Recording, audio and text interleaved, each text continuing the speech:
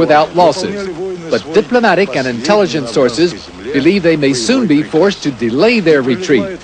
While these troops leave, Western sources say others are being rushed back to reinforce besieged Afghan army strongpoints.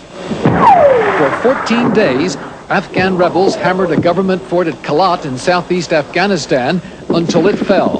The defeated garrison left behind armored personnel carriers and fuel to use them, in addition to ammunition that the rebels at once put to use. Attacks on this and other strong points are being stepped up as the rebels pour in from Pakistan. They're harassing the departing Soviets and closing off the main lines of communication to the Afghan capital.